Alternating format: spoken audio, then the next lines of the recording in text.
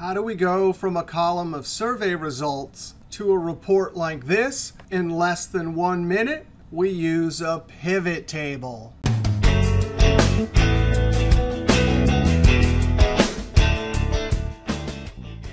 Our survey results go all the way down to row 390. To create our report, select a single cell, Insert, Table Group, Pivot Table button. It asks where you want to put it.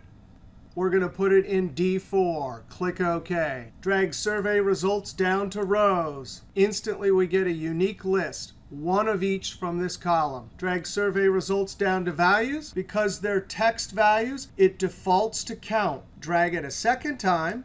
Right click, show values as, and point to percent of column total.